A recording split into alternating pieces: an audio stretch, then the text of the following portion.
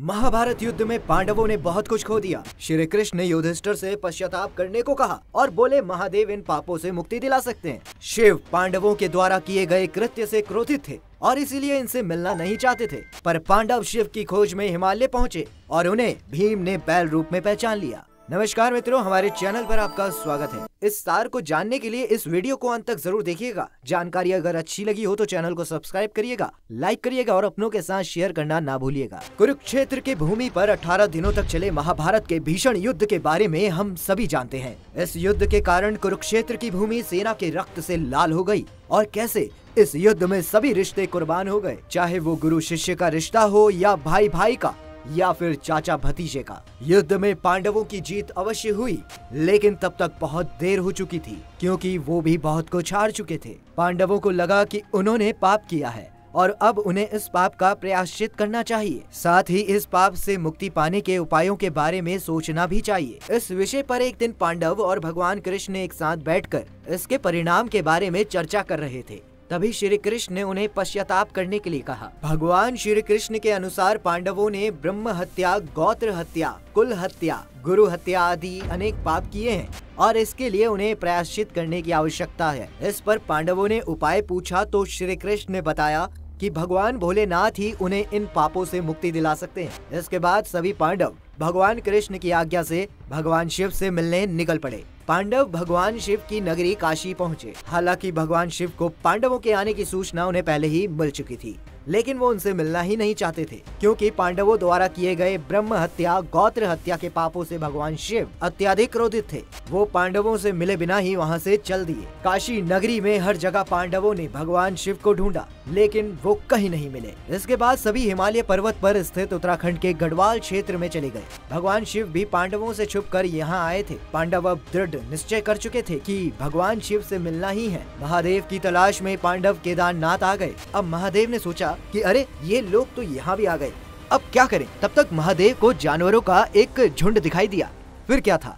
महादेव एक बैल का रूप ले लिए और उन पशुओं के झुंड में शामिल हो गए। गढ़वाल के पहाड़ों पर भी पांडवों ने भगवान शिव को हर जगह ढूंढा, लेकिन वो नहीं मिले। पर अचानक ही ने पास में एक जानवरों का झुंड दिखाई दिया। पांडव अब दुविधा में थे कि इतने सारे जानवरों में महादेव रूपी बैल को कैसे पहचाना जाए। अंत में महाबली भीम को एक उपाय सूझा और उन्होंने अपने शरीर को पहाड़ों से भी बड़ा बना दिया। उन्होंने अपना एक पैर एक पहाड़ी पर और दूसरा पैर दूसरी पहाड़ी पर रख और महादेव को वो ढूँढने लगे। भीम के विराट रूप को देखकर वहाँ मौजूद सभी जानवर, पशु, पक्षी डर गए।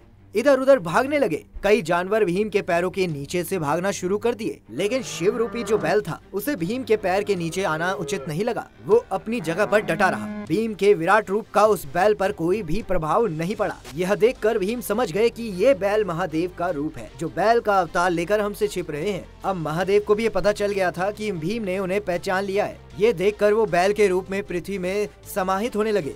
भगवान शिव के बैल अवतार को पृथ्वी में समाहित होता देखकर भीम तेज़ी से उनकी ओर दौड़ पड़े और उनकी पीठ को अपने हाथों से पकड़ लिया। भीम द्वारा बैल की पीठ हाथों में पकड़े रहने के कारण वह वहीं रह गया। जबकि बैल के अन्य चार भाग चार अन्य स्थानों पर निकले। उसी समय से भगवान शंकर बैल की पीठ की आकृति पिंड के रूप में श्री केदारनाथ में पूजे जाते हैं। आज भी उसी स्थान पर चार केदार हैं और ये सभी उत्तराखंड राज्य में स्थित हैं। इनमें भगवान शिव के बैल रूपी अवतार का मुख रुद्रनाथ में, भुजाएँ तुंगनाथ में, नाभि महादेश्वर और जटाएँ कल्पेश्वर में प्रकट हुए। इन पाँच स्थानों को सामूहिक रूप से पंच केदार कहा जाता है। भीम द्वारा भगवान शिव के बैल अवतार की पीठ पकड़ने के बाद वह वहीं रह गई। जब पांडवों को ये पता चला कि बैल रूपी भगवान शिव के शेष चार भाग चार अन्य स्थानों पर प्रकट हुए हैं, तब उन्हें शिव की पूरी महिमा समझ में आ गई। इसके बाद पांडव द्वारा इन पाँच स्थानों पर शिवलिंग की स्थापना कर शिव मंदिरों का निर्माण कराया गया। इससे भगवान शिव पांडवों से बेहद प्रसन्न हुए और उन्हें सभी प्रकार के पापों से मुक्त कर दिया। हालाँकि इसके बाद पांडवों के पोते जन मेजय ने केदारनाथ मंदिर के निर्माण को आगे बढ़ाया और केदारनाथ मंदिर के निर्माण में योगदान दिया।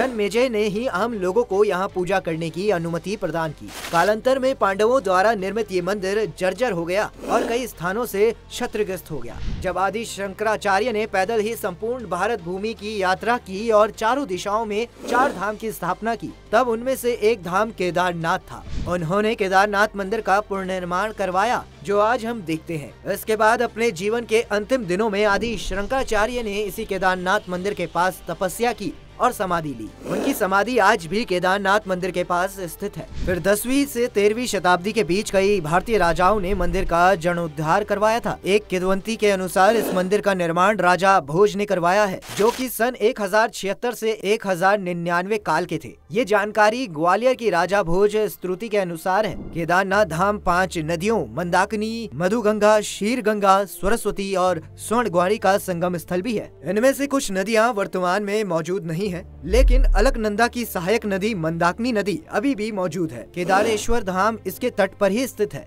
यहाँ सर्दियों में भारी बर्फ़ और बारिश में ज़बरदस्त पानी होता है। यह मंदिर छह फुट ऊँचे वर्गाकार चबूतरे पर बना हुआ है। मंदिर का मुख्य भाग मंडप और गर्भगृह के चारों ओर परिक्रमा पथ है। बाहर आँगन में भगवान शिव के वाहन के रूप में नंदी बैल विराजमान है, जिनकी श्रद्धालु पूजा करते हैं। ये धाम कत्युहारी शैली में बना है। इसके निर्माण में बड़े भूरे रंग के पत्थरों का प्रयोग किया गया है। मंदिर की छत लकड़ी की बनी है, जिसके ऊपर सोने का कलश है। मंदिर को तीनों भागों में बांटा गया है।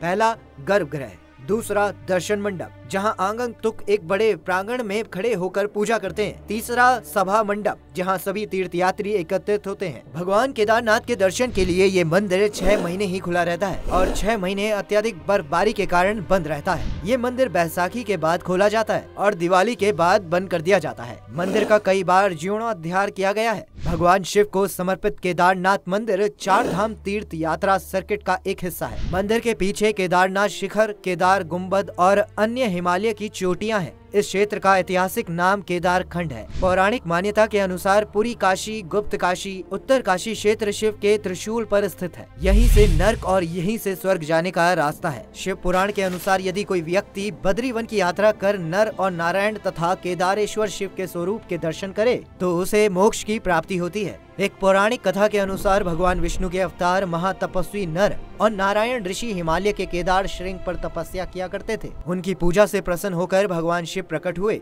और उन्हें ज्योतिर्लिंग के रूप में सदा जीवित रहने का वरदान दिया। उत्तराखंड में हिमालय पर्वत की गोद में केदारनाथ मंदिर बारह ज्योतिर्लिंगों में शामिल होने के साथ चार धाम और पंच केदार में से भी एक है। यहाँ की प्रतिकूल जलवायु के कारण यहाँ मंदिर अप्रैल से नवंबर माह के मध्य ही दर्शन के लिए खुलता है। साल 2013 में आई प्राकृतिक आपदा के बाद से केदारनाथ धाम अत्याधिक प्रसिद्ध हो चुका है। इस आपदा के कारण केदारनाथ मंदिर के आसपास के ढांचे को बहुत क्षति पहुँची थी। साल 2013 के प्राकृतिक आपदा में आदि शंकराचार्य की समाधि स्थल बह गई थी। इसके बाद भारत सरकार और उत्तराखंड सरकार द्वारा केदारनाथ धाम आदि शंकराचार्य की समाधि और इसके आसपास के स्थानों का जीर्णोद्धार किया गया। केदारनाथ को अद्भुत ऊर्जा का केंद्र माना गया है। पहाड़ियों से घिरे इस तीर्थ स्थल की महिमा निराली है। यहाँ बाबा के दर्शन से पहले केदारनाथ के रास्ते में आने वाले गौरी कुंड में स्नान करने का विधान भी है। प्रत्येक साल भैरव बाबा की पूजा के बाद ही मंदिर के कपाट बंद और खोले जाते हैं। कहा जाता है कि मंदिर के कपाट बंद होने पर भगवान भैरव इस मंदिर की रक्षा करते हैं। शास्त्रों के अनुसार जो व्यक्ति केदारनाथ के दर्शन किए बिना ही बद्रीनाथ की यात्रा करता है, उसे यात्रा का फल नहीं मिलता है। ऐसा व्यक्ति जो केदारनाथ ज्योतिर्लिंग में विश्वास कर उसके दर्शन के लिए प्रस्थान करता है,